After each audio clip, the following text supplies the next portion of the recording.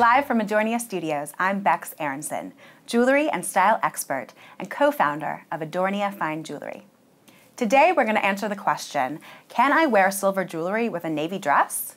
The answer? Yes, absolutely. In the world of color, you have your cool tones and your warm tones. Your warm tones are your reds, oranges, and golds. Your cool tones are your blues, purples, and silvers. You want to match warm with warm and cool with cool. So if you have a cool tone navy dress, match it with a cool tone silver. Silver and navy are actually a very classic combination. You can see here with our model Eva, we've gone for a nautical themed look. Matching the navy dress with silver knot studs, a rope inspired silver fringe necklace, and a hook and eye closure silver bangle for an overall sleek and beautiful look. And there you have it. We've just shown you how you can wear silver with a navy dress. I'm Bex. That's it for today. You've been adorned.